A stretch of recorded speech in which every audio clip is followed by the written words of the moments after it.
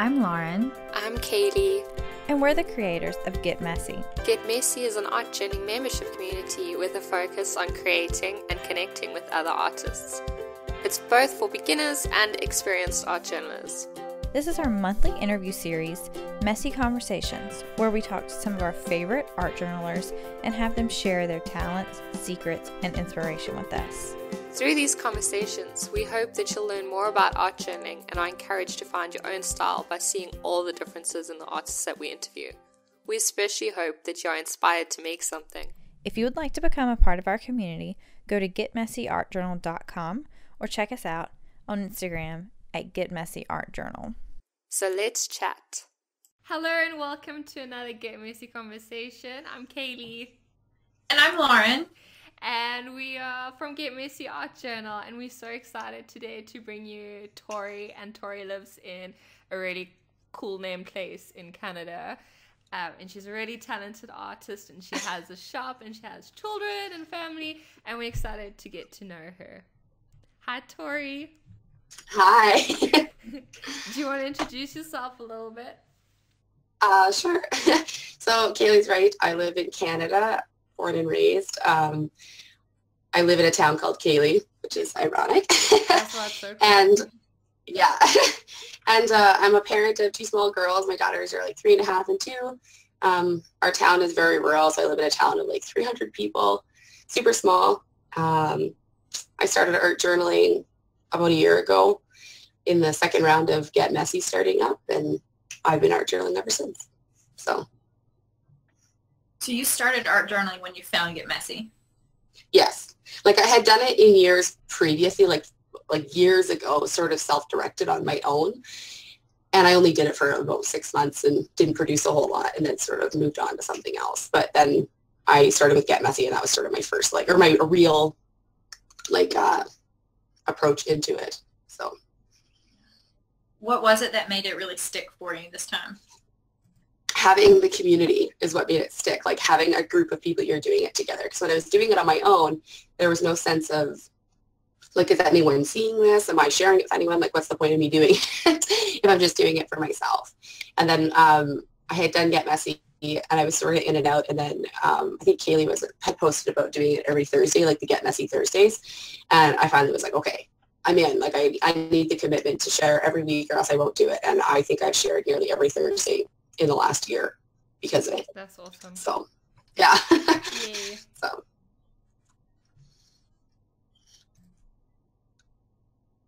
uh, well, can you show us some of your pages? Oh, sure. I can do that. Um, so I've never actually finished an art journal. Like I have a pile of half finished ones and mm-hmm. stuff. But so this is the one uh, I originally started in. Is this? It's a beautiful color. Wow. Yeah, it was it was a gift bag that I bought that I was gonna put a present in for my sister, and then I decided I liked it so much that I kept it, and then wrapped my journal. and the cover was really ugly. It's something I'd done like five years ago, and it looked like junk, and so I didn't like it. So yeah, so this is my. You can see. I don't know if you can see it. It's only like half full. Mm-hmm. So, but yeah, so I can show, actually this one has my old, old pages in it. My really terrible, awful so here, so like this was like what I was doing like six years ago, seven years ago. Oh. Like ah. really, I didn't like it. It was like I was trying to emulate someone's style that wasn't mine. Yeah, yeah. And then I kind of just gave up on it, basically. So, and then yeah, I guess other stuff's all current. So like these are some of my very first ones I did second time around, like this time around. And stuff. So mm-hmm.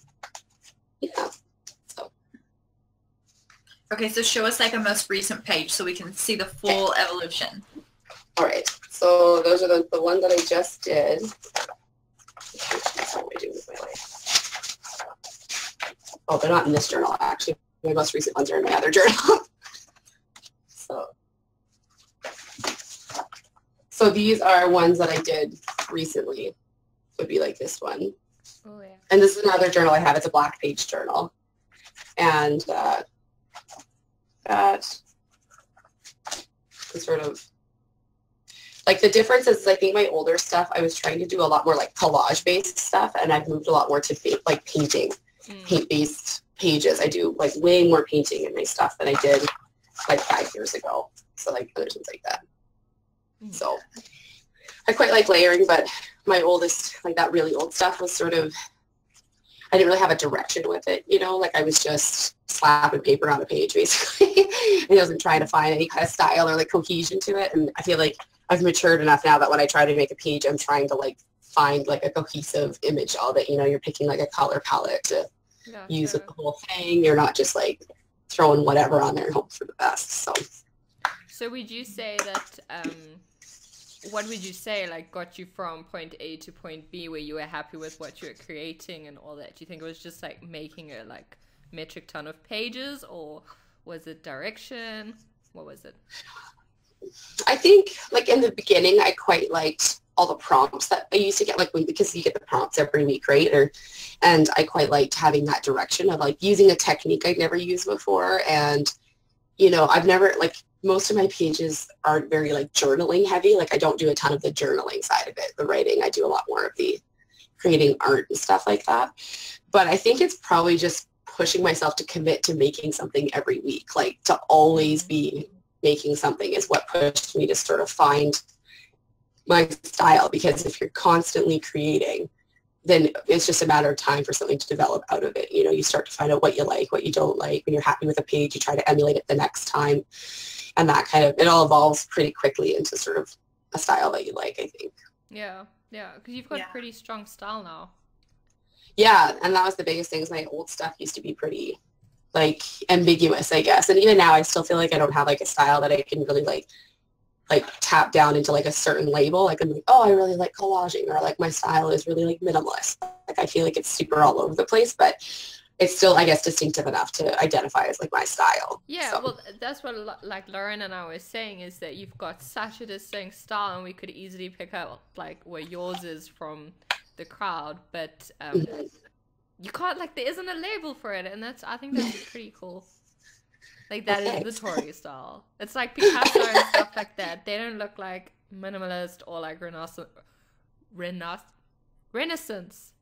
Oh, whatever that word. Okay, but they look like themselves, which is pretty like, and I think that's the same with you. So that's a pretty cool thing as an artist is that you are a real artist and that yeah yeah I think that's the goal of every artist is to have their own thing. It's just them. Yeah. yes totally and i think it takes a while to develop it like it doesn't just show up overnight i think that's the hardest part when you're starting out doing stuff is thinking like you're just gonna like spontaneously be original and like you're not going to look like anybody else's stuff, right? You know, it takes not forever, but it takes a while of sort of copying what you like and sort of reinventing it for a way that you like it. You know, a lot of this, my pages are um, inspired by other people in the art journaling group. You know, I look at other people's stuff and think, oh, I really like that. You know, I want to try and encapsulate that in my page. And so, you know, you're not going to copy it directly, but you're just going to like, okay, so someone used like tissue paper for layering, and I think that looks really good. So I'm going to try and do something similar in my page.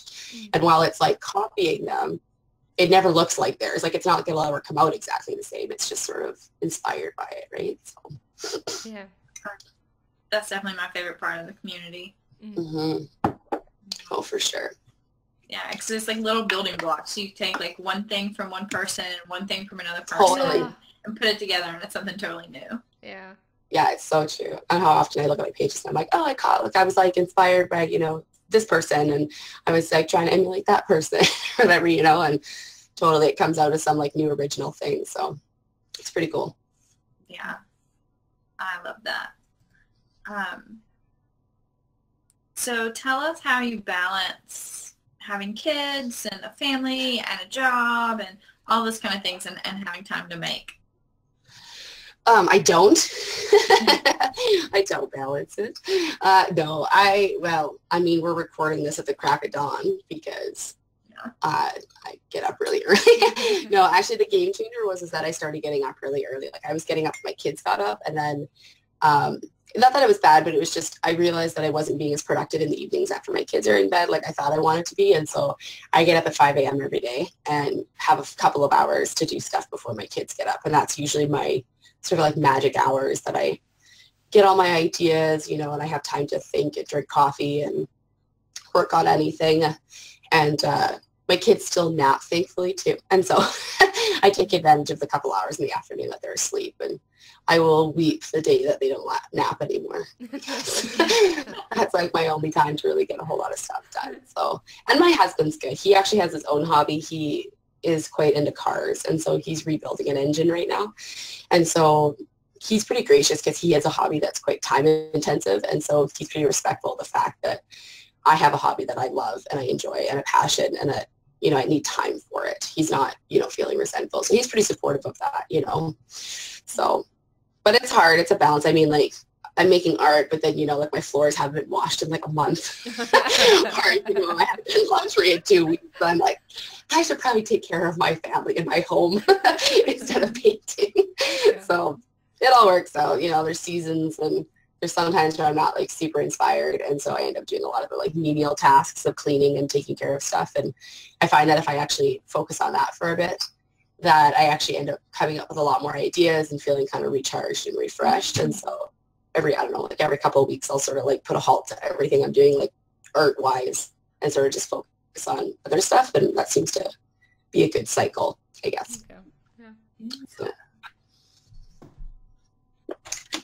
I like that. Um, and I like that it's not so much pressure of, you know, I have to be making or doing something and, you know, kind of letting yourself off the hook for that is, is really helpful. Yeah, I think so. I think it's all about trying to find a way to stay sane. Like, I don't think anyone will ever really balance it perfectly. It's always, something will always take precedent over something else, right? It's just a matter of what's taking precedent right now. Yeah. yeah. and it won't last forever, right? So. Um, so tell us more about how your art journaling influences the other projects and things you do. Fun. Uh, I actually get my best ideas when I'm art journaling for other stuff. So I opened up Fox and Hazel, my print shop, um, in October, and my I sort of accrued pieces and I've done that and then I launched a new collection this January and my new collection was 100% totally related to an art journal page that I did back in like November, I guess. Yeah.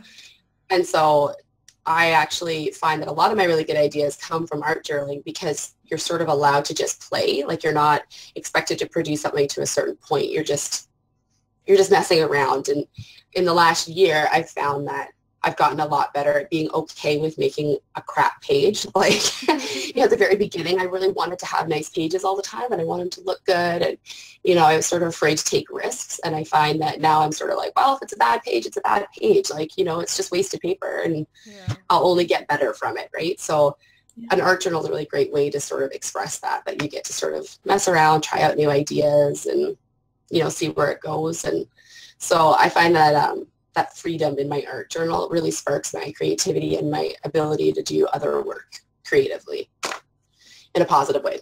Hmm. So yeah, my last collection I just released is like way different than all my other stuff because all my previous stuff was all like watercolors and this one's an acrylic collection and it's like I here I can show you the page that I did it from. Like I I have the page that I originally made and then it was like so here. So this was the original page that I made. Mm and then entire like eight piece collection. Um, it, it sort of all kind of goes together. They're kind of hard to separate the two from each other. So yeah, yeah, yeah. And we'll have links to all of those pieces in the show notes so you guys can see those. Yeah. Um, okay, so whenever we talk to people, uh, I feel like this always comes up because Get Messy is so big and multifaceted, and so everyone, a lot of our creative team, and, and Torrie's on our creative team, if we didn't say that, um, they all are in charge of something different, some different kind of mm. project or something we do. And so Torrie heads up one of our really cool programs, um, and they make magazines to raise money for really good causes. So tell us yeah. all about that. Yeah, it actually, we started just like, well, it's been less than six months since we started it, but um, it started after I think it was Kaylee put a call out to the group just asking to submit just art journal pages for just like a collective thing that we could print as a book so we could have like a coffee table book essentially of everybody's work and that spurred into someone suggesting, well, why don't we do one and do one for charity? You know, like people sell calendars for charity. They sell whatever for charity. So why don't we do some kind of iteration of that? And so um, when we first started, it was really at the height of when the refugee crisis was sort of all over the news and that was happening and it was like in everybody's mind. And so we did our first one, um, and I think we released it in November, was um, one to support the UN, oh my gosh, UNHCR. So it's the United Nations uh, Refugee Fund, essentially.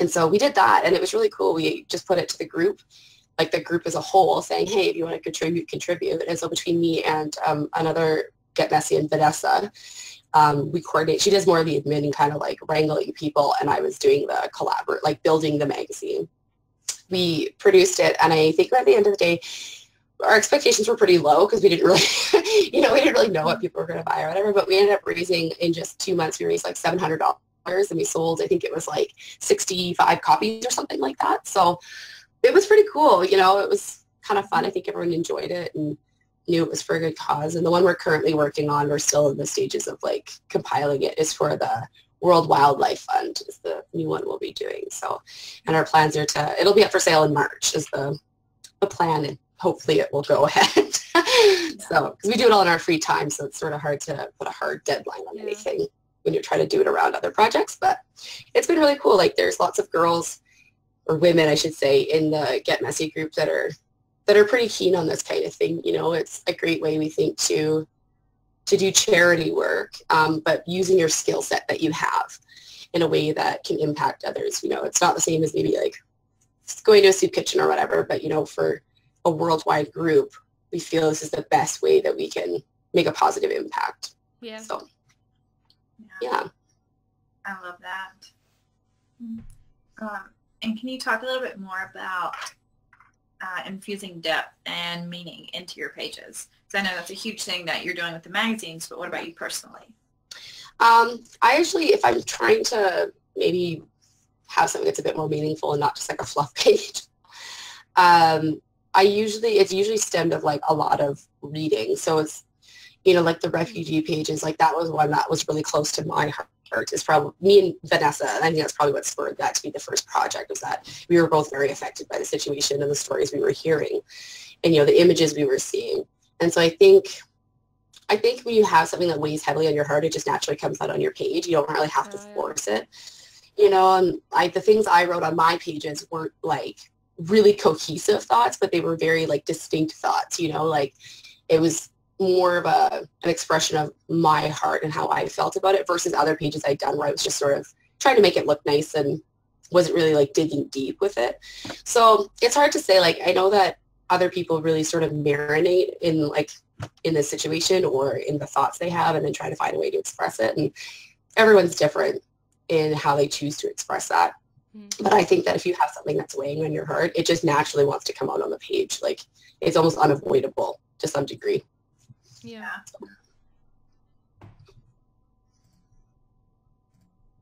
Um, so if you have any tips for new people who are getting started with art journaling, what would you tell them? To start. yeah, no, I would say honestly, like, you know, if you're doing it on your own, then to just go for it. If you have joined Get Messy, then to get involved with Get Messy. I think that is the biggest driving point that you know, I art journaled on my own and I wasn't super motivated by it. But once I saw like this huge group of people who, despite the numbers, are incredibly personal and you make amazing connections with, despite, despite being in the hundreds, you know, that really is what will push you, I think, to to want to contribute and to be part of the conversation and to be part of the group. You know, it's sort of that sounds bad, but it's almost like the peer pressure. Like, like everybody's doing it, and I want to be a part of it, right? And so you know, we've seen this year people who have been signed up for the last year who were sort of in the shadows, sort of coming forth. And I think that's, you know, they've all said the same thing, like, I don't really want to hang out and watch anymore. I want to be part of the action. And so I think for newbies, the biggest thing is to just like put yourself out there and just do it. And even if you don't share it with anyone, nobody's going to know that you made an awful looking page except for you. Mm-hmm. You know, you don't have to publish it. You could burn it afterwards if you really want to, but you'll never get any better and you'll never find your voice if you never ever art like or do it. Like if you never make any art, you will never find your voice at all. You'll just sit there wishing and waiting. So the only way to do it or to get good at it or to get started is to just do it, just to put paint to paper and make it happen basically. So. Yeah. yeah. Yeah. Torrie, you were saying that um, people should get involved in the community. What Mhm. like practical way would you say is the best way to get started with that? well, there's the Facebook group. That's the biggest one, I think, is that getting in there. And then I think, honestly, it's the, even if you don't do it forever, it's the getting on sharing on a regular basis. You know, like, I think that's the biggest thing is that in the Get Messy group, everyone is like so incredibly supportive of each other and encouraging. And it's so good. Like, you know, in all the time we've seen things posted, I've never seen someone post a page and then someone was like, that's terrible. Like, you know, like when's the last time that happened? Like never, you know? Never. even if you think your page is absolute junk, someone will love it and someone Yeah. will be there to lift you up and encourage you. Yeah. So I think a proactive way to do it is to be involved in the Facebook group, like just chatting and, you know, talking to people and to to share, whether it's like you're part of the Get Messy habit or if you're just, you know, doing it once a month or every two weeks, whatever, just make sure you're sharing with the group in some capacity. And I think that's a good way to get engaged, you know, because people will encourage you and then people will have questions, you know. Lots of times uh, you might be accepting that nobody has thought of or someone's like, hey, how did you do that? Or, you know, where did you get that image from or whatever. And it's a great way to start a conversation and get interacting with people. So, yeah, that's good. No, I totally agree. I feel like I can post something at any time of the day, day or night, Yeah. with just like a ridiculous question, and within minutes, like multiple people will have like given me a ton of great ideas or answers or or help or or whatever. It's it's so nice. it's so true. I love the, I mm-hmm. love the, like sometimes it's frustrating everyone being in different time zones, but at the same time, it's so, you're right, it's so great. Like any time of day, there is somebody around who can give you some advice or answer a question for you or give you feedback or even just, you know, we have the WhatsApp group that we all text in. And I think that's, you know, it's not usually art related, but it's sort of nice because you bonded and made these friendships that, you know, if you're up at three in the morning, my time, with a problem, someone's awake somewhere that will probably answer you, right? So it's great. I think it's kind of awesome to have that kind of uh, access to people like 24-7 essentially. Yeah. So That is totally true. Well, thank you so much for talking to us, Torrie. Um, and we'll have lots of links to you so people can see your work and see your shop and, and all of that good stuff in the show notes. Um, and if you have any questions, just let Torrie know, and I know that she'll be more than happy to answer and help you out with anything you need. And so thank you so much for joining us, and we hope to see you next time for another messy conversation.